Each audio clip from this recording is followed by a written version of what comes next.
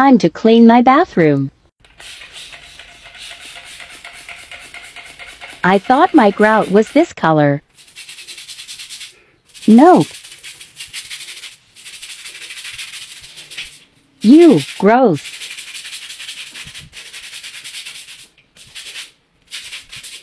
Finally done scrubbing. Round 1, mopping with just hot water.